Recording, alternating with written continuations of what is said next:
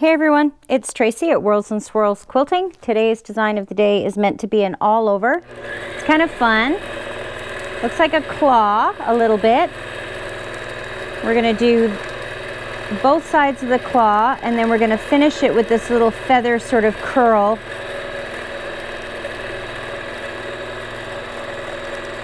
on one side. So one, two, three, Instead of doing a whole curl, I've kind of brought it around and as you come in, you sort of cross over so it forms that little feather shape. Get rid of that little hunk of dust there. Let's do it this way so you can really see the see this the shape. So claw and then feather, feather, feather, curl it in, and then see that feather shape right there, that little pearl. And then I bounce out of it to do the next one. One, two, three. If you need to stretch it to make it work, stretch that little one out there. It's going to be just fine.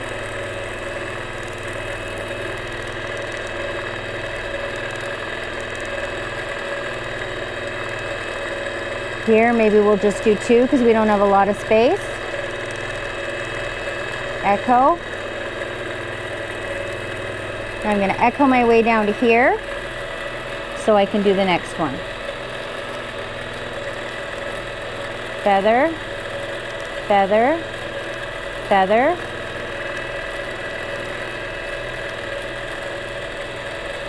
And echo. Let's put one here down and then the first feather sort of comes up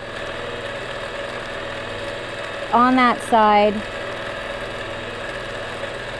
and you sort of spin them around each other so it doesn't get too much longer than the original claw shape.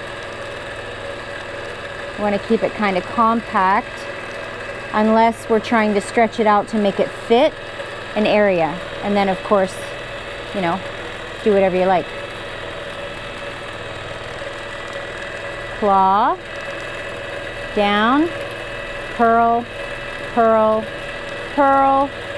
That one's just gonna have a little one because that's the only thing that will fit.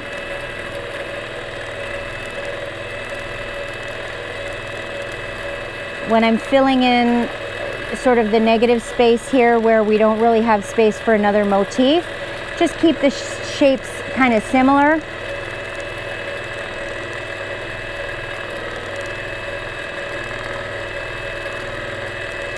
Maybe we'll just do one there. Sneak in the ditch. Just because I want to get around.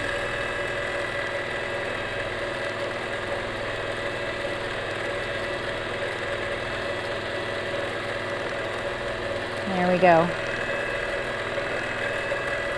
Now this one, these little pearls are on this side, and that's okay. You can have them going on both sides, one side then the other.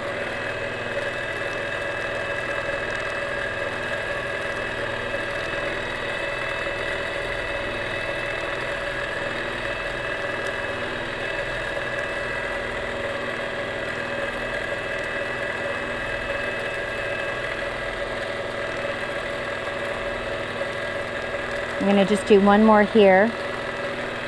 One, up to do the claw and then we're going to build that feather off this side. Do that little curl hook with the feather thing in it. That gives it a lot of names, doesn't it? Curl hook with the feather thing. Let's pop one more in right here real quick. Just because I can't seem to force myself to leave a space open. There, that one didn't even have a hook. So see, you can do that too. We'll put its one right there. There.